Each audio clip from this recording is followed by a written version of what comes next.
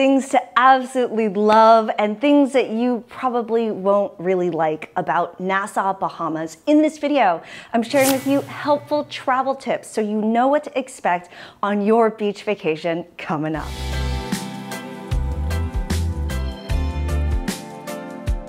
And if you're new here, yo, I'm Christine Lozada with Where in the World is CL, and I make travel videos every week to help you get up, get out, and go travel. So if you like to travel, consider subscribing. I've spent a month on this island, and there are a lot of things I've learned about traveling here, and I wanna help you out so that you can have the best trip possible. So let's dive in with, actually, let's start positive, something to love.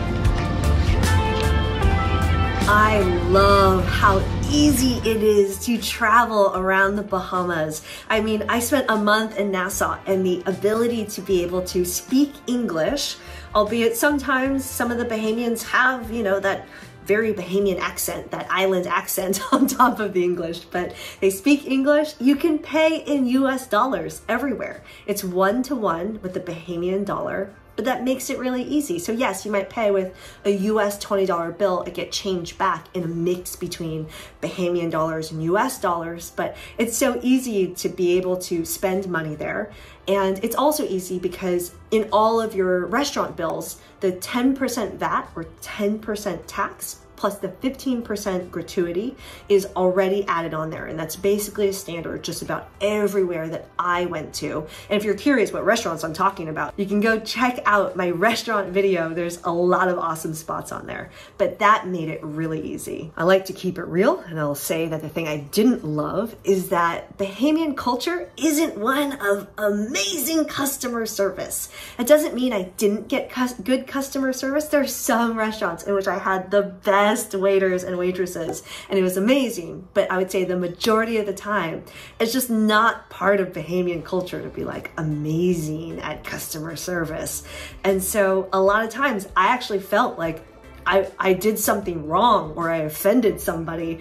Uh, it's just the customer service is not that great, but they definitely expect you to tip on top of the 15% a lot of times, especially in the resorts. So that's just something to be aware of. It doesn't mean it's going to happen to you, but that was my experience uh, from spending an entire month on the island.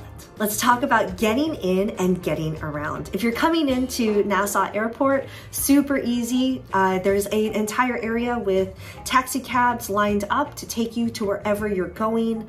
Um, most places that tourists are going to are usually a 15 minute ride from the airport and it's around 25 to $30 to get there. So that's really easy. The other thing to know about getting in at the airport is depending on when you're traveling to Nassau, you there might be pandemic rules. So make sure you check my other video, link in the description below, so you know what to expect about that. I don't want you to be caught off guard. And Another thing is if you're coming in via cruise, if you're coming into the port, uh, you are coming right into downtown Nassau, which if you are not there during um, a cruise time, there's it's just completely empty. Like downtown Nassau is a ghost town if there are no cruises in port. It's kind of wild. By the way, if you're getting some value out of this video, cheers that like button, consider subscribing, and make sure you check the description. This is one of many videos about this amazing island. And if you have a helpful tip, we're all a community. Add it in the description below so we can help each other out. And let's move on. Getting around is one that, as long as you're okay with taking taxis and you're staying at a resort where the taxis are lined up, you're fine. Otherwise, it's kind of a project. Like if you're traveling solo for an entire month, uh, getting around is kind of a challenge. So here are your options. Driving. I love using the rental cars, link in the description below. It's what I use for rentalcars.com for all my international travel. But it's helpful to know that in the Bahamas, you drive on the left side of the road. So it's the opposite. If you're coming from the United States, you're driving on the other side of the road. And there's not a lot of lights there's almost no lights on the island. It's mainly roundabouts. So if you're both transitioning to driving on the left-hand side of the road and you're not used to roundabouts, that's just something to be aware of. It took me I mean, I don't know. I'm a pretty good driver, in my opinion, uh, but it took a little bit of practice to get comfortable driving in the Bahamas. Plus, you know, local Bahamians, whoo, They drive fast and they want you to get out of the way. So just know that that's the environment you're getting into if you're driving. For me, I paid uh, $6 a gallon the first time I filled up and $6.30 a gallon the second time I filled up. I don't think it's meant to be this complicated, but I'm like having a really complicated time figuring out how to get gas. You do not pump your own gas, they pump it for you. It's significantly more of a confusing process than I expected, um, but that's what you can expect in terms of gas rates. The other thing to know is parking can be a challenge, especially in downtown. There's basically no meters, so anyone who's working at those places in downtown will go and park there and park there all day. And so there's there's no parking. Uh, so most of the times I would park outside of downtown and walk in, which short distances, super easy, 10, 15, 20 minute walks, no biggie. When it's 96 degrees with 100% humidity and it's hot outside, then it feels a little bit longer than that, but it's totally doable. So I would generally park outside of downtown and walk in anytime I was doing that. Speaking of walking, I looked into bike rentals. I will link some of the places I was looking at to rent a bike. Um, there are definitely amazing triathletes on the island that I would see in the mornings going out on their long bike rides, but this is not the place with bike lanes. So I opted out of riding a bike. I wanted to live to see another day.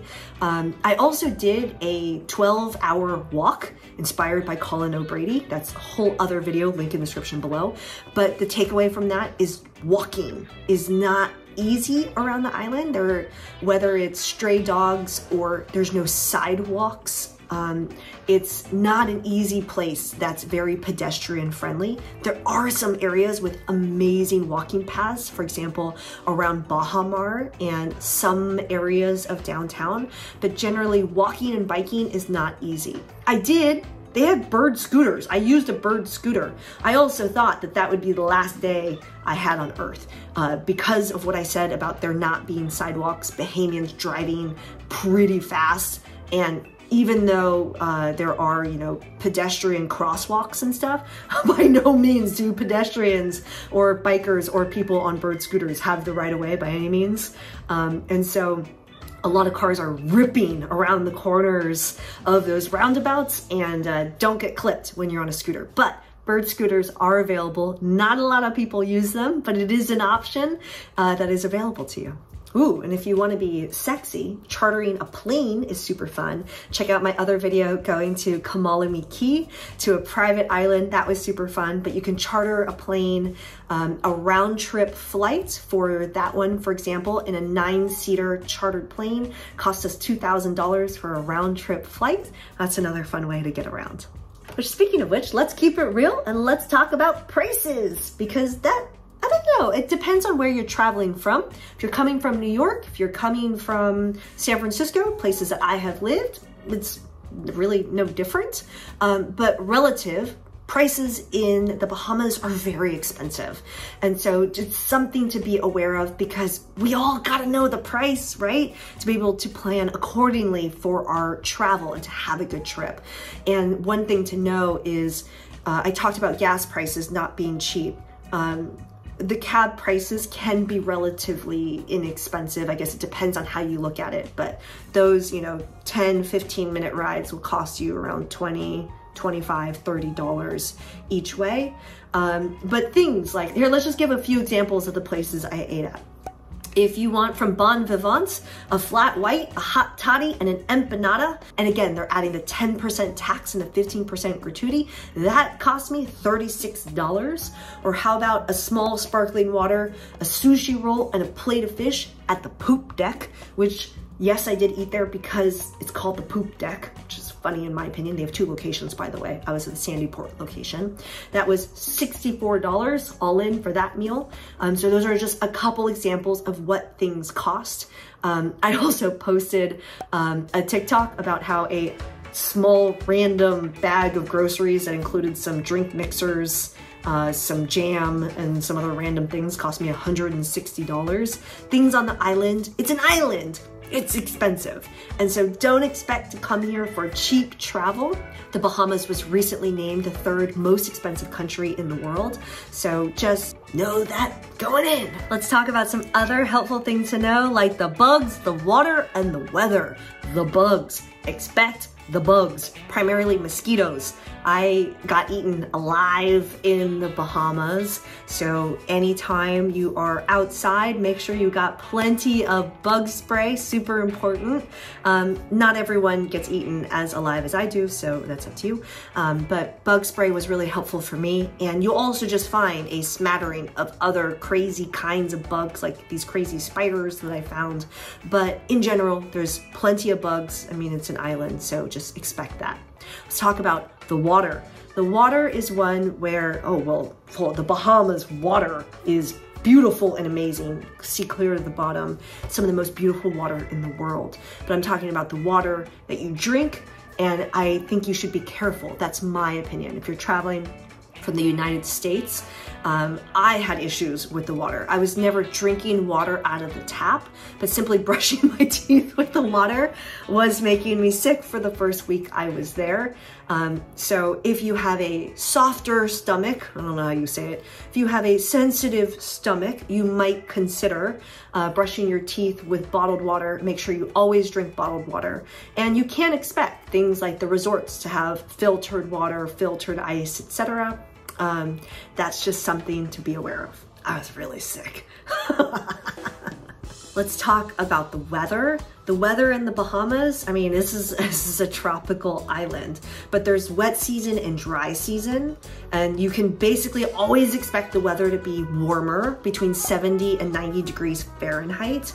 Um, but hurricane season is really June through November, so it's that time frame with the most amount of potential hurricane activity happening uh, between August and October. I was there for the entire month of August 2022.